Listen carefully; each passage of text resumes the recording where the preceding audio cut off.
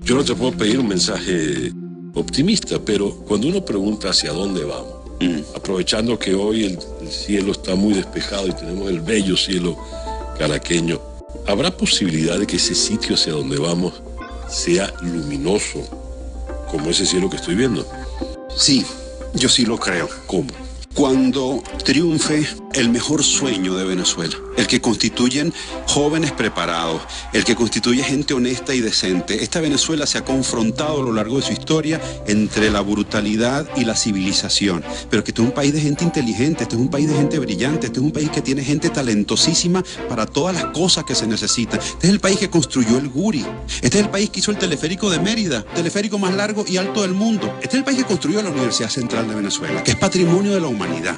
Este país es grande, no por, porque tiene el Salto Ángel, ni el Orinoco, ni el Caroní, que son grandiosos y son extraordinarios. Este país es grande por lo que ha hecho el alma venezolana por él. Y este es el país de sistema de orquestas y de músicos brillantes en el mundo entero.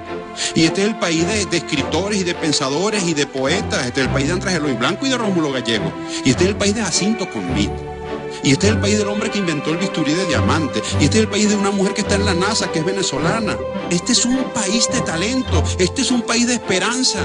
Nosotros tenemos que apostar a esa esperanza, tenemos que reencontrarnos con ese país de civilización que somos. ¿Hasta cuándo vamos a estar nosotros sometidos a la fuerza de las armas, al fusil de, tres bocas o del cartucho de tres boquetes? No, no, yo me niego, yo, yo apuesto a la civilidad del venezolano. Y esa civilidad del venezolano es la que hoy está en la calle manifestando. Y no, y no podemos dejar de hacer lo que el mandato moral nos manda hacer. Creo que no me equivoqué al invitarte hoy, ¿no? Laureano Márquez.